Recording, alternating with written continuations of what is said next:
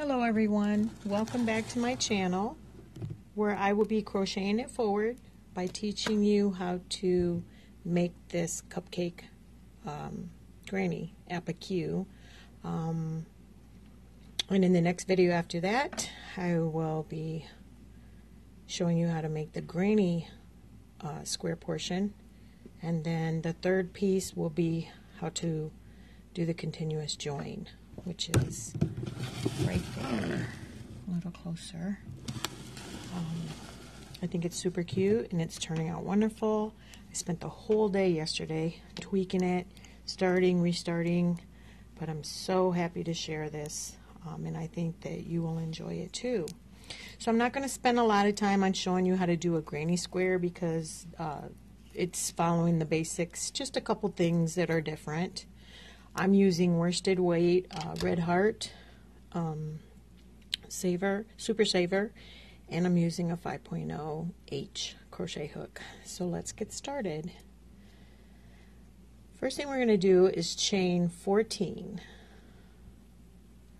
5, 6, 7, 8, 9, 10, 11, 12, 13, 14, Next thing we're going to do is single crochet back to the original um, first chain for a total of 13 and we will be starting immediately in that first chain right here. There you go to your left. So single crochet all the way back for a total of 13 and I'll meet you back. Okay once you have your 13 single crochets, we want to chain 3, which will also count as your first double crochet. Turn your work and make two double crochets in that first chain. This is going to be the repeat pattern for the rest of the rows. We're going to skip two chains and right here in the third, three double crochet.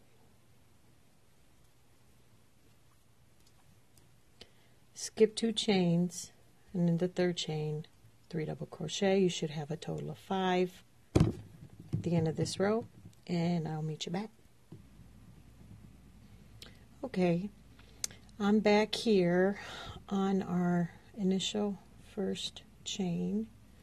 Make sure uh, you're going through both of these um, strands of yarn uh, so you don't end up with a big hole. And you should end up right here at the very end for your fifth set of double crochets.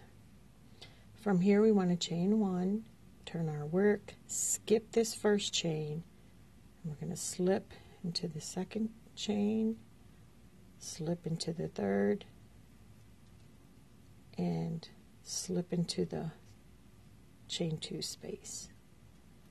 Chain up three, and again the repeat pattern, two double crochet. We're going to put three double crochet in each of the chain two spaces across for a total of four, and I'll meet you back.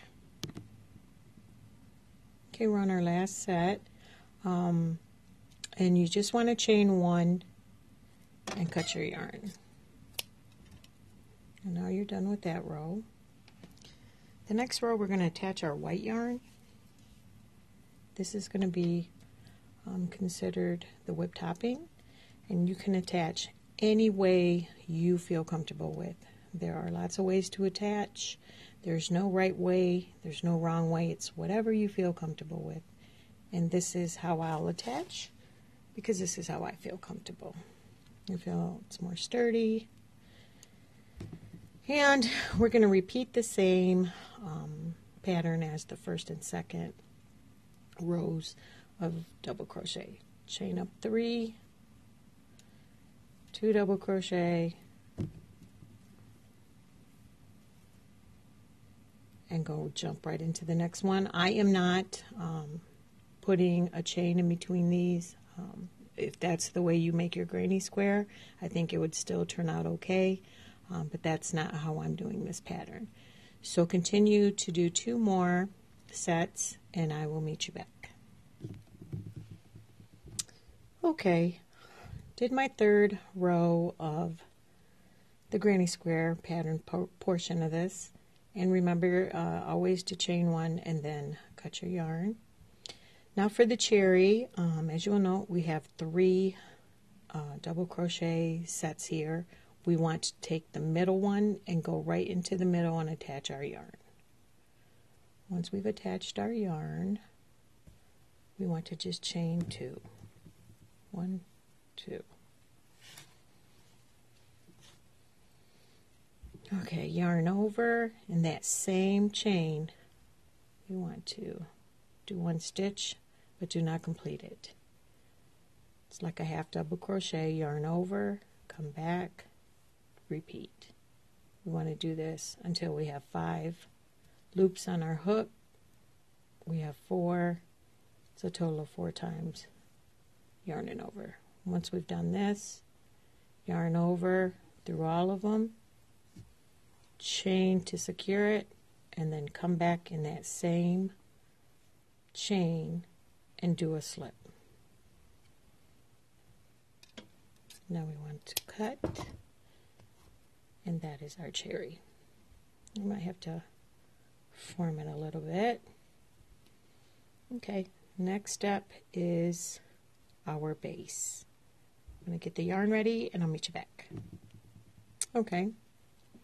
Now you want to turn your top portion of your cupcake upside down and attach your yarn right here where you started your chain 14. Once we've done that, we want to single crochet and then single crochet in each of the chain stitches all the way across for a total of 13. And I will meet you back here. Okay, you should have 13 single crochets.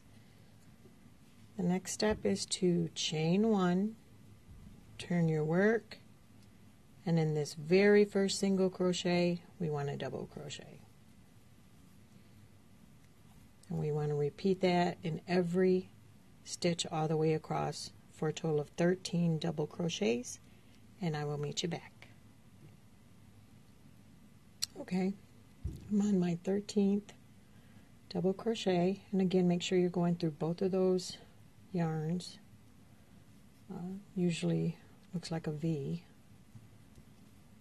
and we're going to repeat the whole previous row chain one turn and this is our last row um, and double crochet in each of the chains going back and I will meet you back okay once you've uh, done your 13th double crochet, chain one, um, cut your yarn, um, and sew in your ends, which I've already done. Um, the next step is to show you how to make the granny square portion. And what we're going to do is we're going to do single crochets and chains um, to set up our granny square. Um, and this, they're going to be at these points, and I'll, I'll walk through you. I'm sorry, I'll walk with you and walk you through each one of them. But just to tell you right now, it's going to be in this corner, that corner, that corner, right here, right here on both sides of the cherry. Again, the same thing on this side. Corner, corner, corner, where the yellow yarn starts. Right here for the base, we're going to put a single crochet right here. And to make me remember I just look at the line coming down that way. Then we're going to put one right here count three chains another one another one right here back to this side and we'll slip right here so grab whatever yarn that you're going to do your granny square portion right here and I will meet you back okay so I've attached my yarn where the yellow started, and that's going to be um, where we start chaining. So attach your yarn. We want to chain three, two, three, and then in this corner, want to be sure you're grabbing both yarns, loops I mean, chain three, single crochet,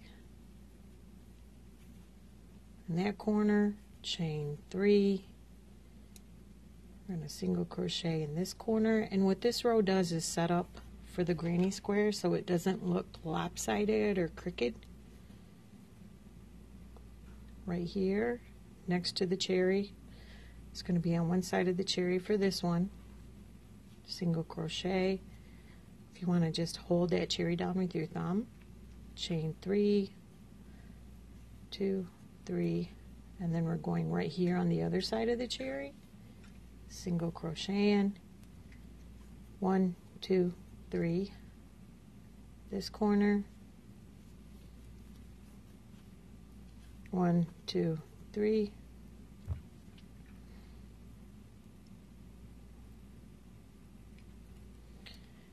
some of these stitches can be kind of tedious so just try to get it in there um, as best as you can.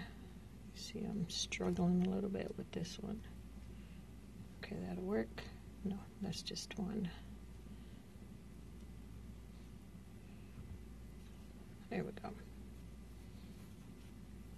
One, two, three. This corner. One, two, three. And then back where the yellow starts. Single crochet chain three. And then there's that line that I'm using as a marker. We're just going to stick it right here stick our hook right there. Single crochet one two three. And then down here at the bottom I usually count about into the third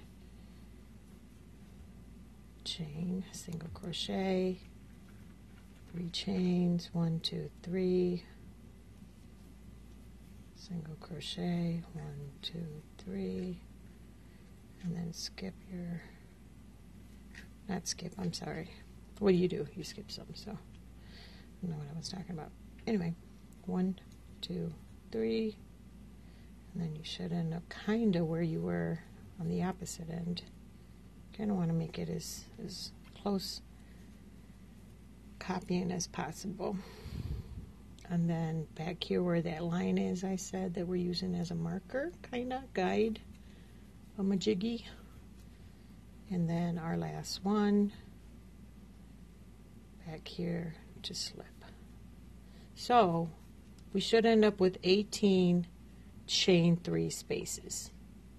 So we're going to count. First one right here from our hook. One, two, three, one, two, three, four, behind the cherry, five, six, seven, eight, nine, ten, eleven, twelve, thirteen, fourteen, fifteen, sixteen. So we're good. The next row we're going to do is we're going to slip stitch right into that first space, chain three, and then chain three again, and do two double crochet.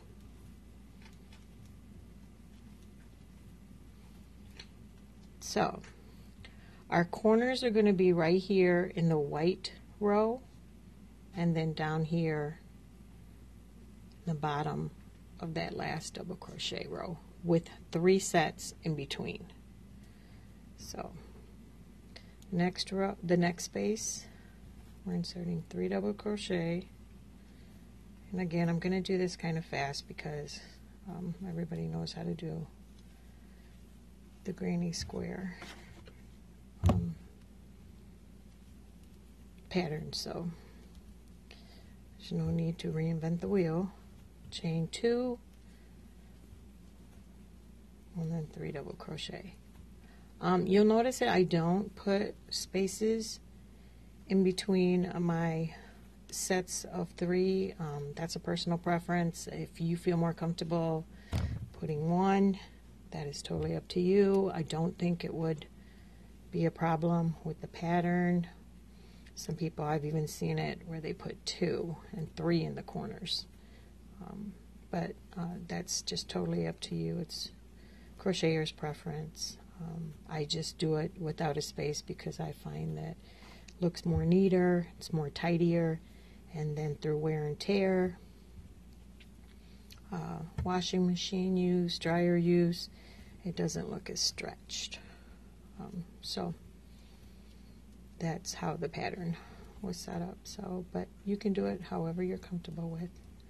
Like I said, I don't think it's going to affect the outcome of the pattern, the original pattern.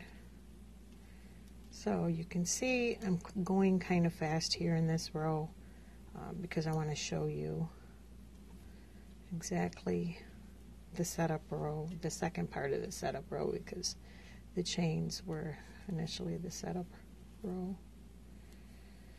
And now we're coming to a corner right here. We're doing our chain three, chain two, and then our chain three.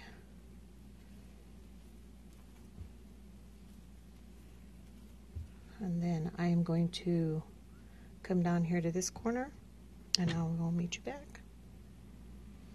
Okay, so we're back at the corner and doing exactly the same thing with our three chains.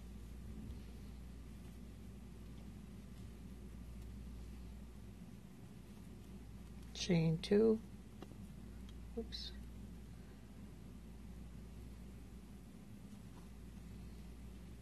and then your other three double crochets. Now I use the same yarn uh, for both of these rows. If you want to switch up and use a different one, that's totally up to you. Um, but um, I just did it this way. Well, the good thing about patterns is that you can customize them to whatever you want as long as you're following kind of the, the same format. You can tweak it into your own.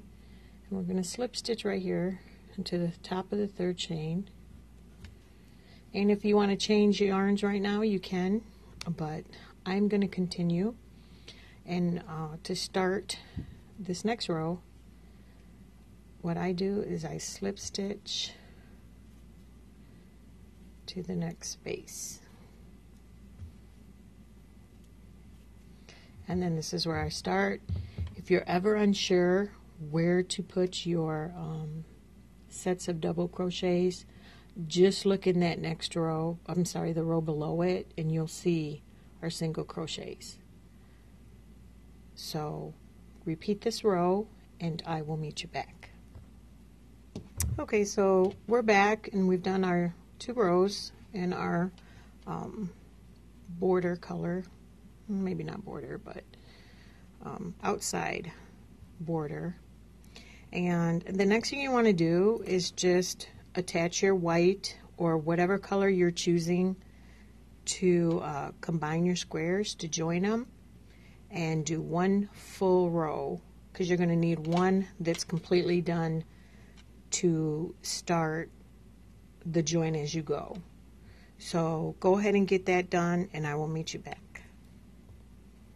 Okay, so by this point you have one granny square that's pretty much completely done and we're going to start attaching. So we're going to grab one that doesn't have, in this case, a white border. You're, you're connecting joining color, and you want to attach in one of the corners. Um, at, at this point, I suggest I also suggest that you kind of spread out your squares um, however you want them to be, um, and that way you can just pick them up as you go.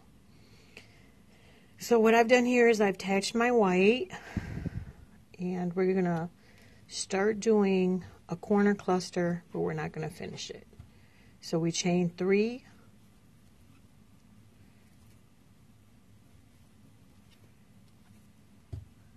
chain one, and at this point we're to stick our crochet hook in the joining square. We're to call this the second square. In through the top, out through the bottom, and just grab your yarn and do a slip stitch, just like that. We will finish that corner chain, second chain, and then come back to your first square and finish your three double crochet. It's kind of awkward at first, um, and then it's, it might not even look right to you, but please trust, it, it does come out in the end. Um, once you get the gist of it, it's going to come second nature to you. So coming down the line here, or the row, I'm sorry, we're going to do the exact same thing. We're going to line up our sets of three, double crochet, go in from the top, grab our yarn, slip stitch. There will be no chains. Um, however, if you're doing a chain in between your sets, then this, that's a fine time to do it all the way down. And then just come back to your first square and finish your three double crochet. Again, the next one, we're going in from the top, your crochet hook out from the bottom, grab your yarn, it's a slip stitch, go back into your first square. You want to immediately yarn over if you can try to remember that. Let me let me help you out because this is what helped me learn, so might help you. Again, right here, we're going into the one matching, in from the top, out from the bottom. We're going to grab our yarn, pull it straight through, yarn over. So if you can remember right after your slip, yarn over, you go back to your first, your very first uh, square. And just finish your set of three double crochets. One more time, in from the top right here, grab your yarn, slip, yarn over, and then go back to your first square. I'm going to finish these next two and then we'll I'll show you how to do the corner. And from the top, grab your yarn, pull through, yarn over, and finish your, oops, need some more yarn, three double crochets.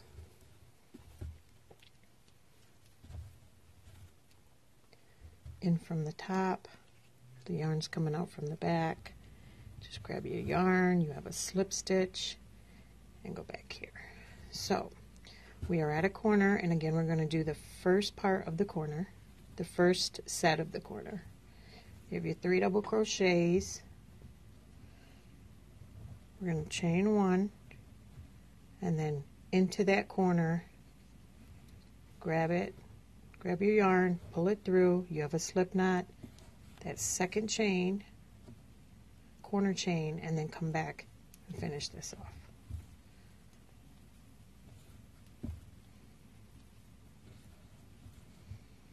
And from here, you just finish the rest of the row with your white coming back and join right here, and I'll meet you back.